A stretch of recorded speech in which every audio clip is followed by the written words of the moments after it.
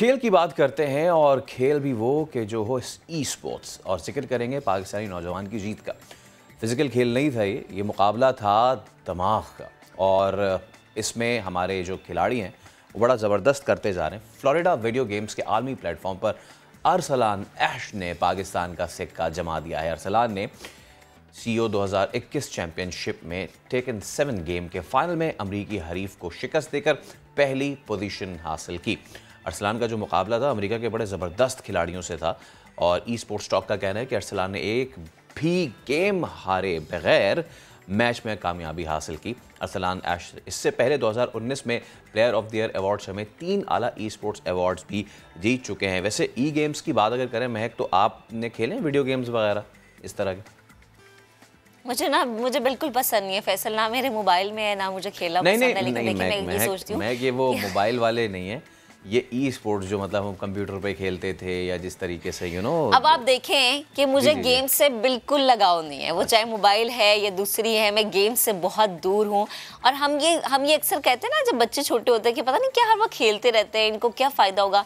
लेकिन अरसलान एक बहुत अच्छी एग्ज़ाम्पल सेट की है स्पेशली उन पेरेंट्स के लिए जो कि हमें लगता है। ओके मौजूद है तो चले गुफ्तु का आगाज़ करते हैं। अरसलान सलाम अलैकुम अ, सबसे पहले एक बार फिर कॉन्ग्रेचुलेशन वंस अगेन आप हमारा जो पाकिस्तान का नाम है वो ई स्पोर्ट्स की दुनिया में बहुत ज़्यादा ऊँचा करते जा रहे हैं। 2019 में भी आपने इसी तरीके से पाकिस्तान को फतह दिलवाई। मुझे बताइएगा पहले तो अपना ये वाला जो फ्लोरिडा गेम्स थे इसकी जर्नी कैसी रही? यू बिन अनबीटन और किन किन को आपने हराया ज़रा बताएँ।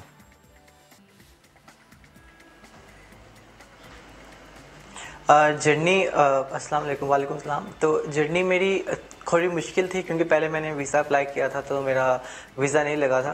क्योंकि एक दो टिकट और टूर्नामेंट था, उसके अंदर, अमेरिका के अंदर उसके लिए जाना था तो वहाँ नहीं जा सका। फिर अचानक ही मेरा उन्होंने अप्रूव कर दिया वीज़ा तो पाँच साल का मेरा माशाल्लाह वीज़ा लगा यूएसए का। तो यूएसए और ये इसलिए भी अच्छा है क्योंकि यूएसए अभी पाकिस्तान दुनिया की सबसे बड़ी गेमिंग इंडस्ट्री है। तो वहाँ पे काफ़ी टूर्नामेंट्स होते हैं तो मैं बार बार जा सकता हूँ और पाकिस्तान का नाम रोशन कर सकता हूँ। और इस टूर्नामेंट ये साल का सबसे बड़ा टूर्नामेंट था और इसके अंदर दुनिया से बहुत हर हर दुनिया हर दुनिया के कोने से प्लेयर आए हुए थे। 500 प्लस लोगों ने पार्टिसिपेट किया था इसके अंदर और अलहमदिल्ला मैंने जीत किया था। ज़बरदस्त। अच्छा आप कह रहे हैं 500 प्लस लोग थे यहाँ पर और इन लोगों का आपने मुकाबला किया। तो कोई एक पॉइंट जहाँ पर आपको लग रहा था कि लूज कर जाऊँगा मैं और शायद जीत मेरा मुकद्दर में नहीं होगी। कोई तो एक ऐसा पॉइंट आता ना बिकॉज़ जब 500 लोगों के साथ मुकाबला हो तो कहीं ना कहीं घबराहट तो होती है। जी जी। अ, एक ग्रैंड फाइनल के अंदर ही पॉइंट आया था जब एनाकिन जो कि यूएस का टॉप प्लेयर था अमेरिका अमेरिका का अटलांटा का तो उसने मुझे दो कॉइन्स मार दिए थे और जब बात आ गई थी फाइनल फाइनल कॉइन के ऊपर। तो वहाँ पे एक वक्त मुझे फील आई थी कि यार, शायद मैं हार सकता हूँ। और वो, वही था एक मोमेंट लेकिन अल्लाह का शुक्र है कि नहीं हारा यार अरसलान मुझे ये बात बताएँ कि आप जब 2019 में जीते थे ऑब्वियसली उससे पहले भी हमारे बड़े गेमर्स थे ना जो कि मुख्तलिफ़ प्लेटफॉर्म्स पे जीत रहे थे बट वर्ल्ड लेवल पे आपने बड़ा ज़बरदस्त परफॉर्म किया मैं चाहूँगा ज़रा देखने वालों को ये मैसेज दें कि ये जो हम। ई स्पोर्ट्स है ये कोई टाइम का ज़या नहीं है इस, इसको जो है ना आप वक्त ज़ाया नहीं कर रहे होते बल्कि ई स्पोर्ट्स ना सिर्फ़ ये कि एक बहुत बड़ी इंडस्ट्री होती जा रही है बड़ी ज़बरदस्त इकॉनमी के लिए बड़ी ज़बरदस्त है फाइनेंशियल बहुत ज़्यादा सपोर्ट कर सकती है मुल्क की इकॉनमी को और लोगों का रुझान इस तरफ़ मबजूल कराने के लिए लोगों को इस तरफ़ इंक्लाइन करने के लिए आप क्या मैसेज देना चाहेंगे अपनी यूथ को और अपने लोगों को?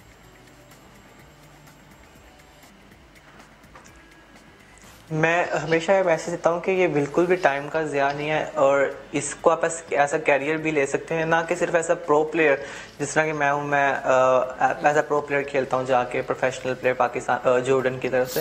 पाकिस्तान की तरफ़ से भी।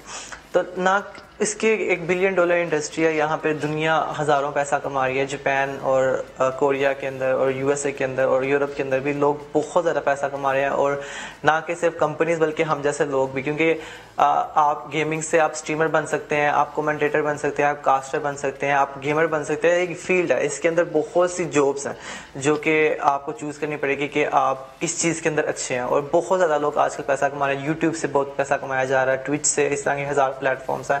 आप घर बैठे बैठे बहुत से अर्न कर सकते हैं चीज़ें और ये बिल्कुल भी टाइम का ज़िया नहीं है लेकिन अगर आपका गोल होना चाहिए आपका पैशन होना चाहिए उस तरफ़ तब भी ये चीज़ फ़ायदा देती है। Thank you so much Arsalan मौजूद था हमारे साथ और एक बार फिर मुल्क का नाम दुनिया भर में रोशन किया।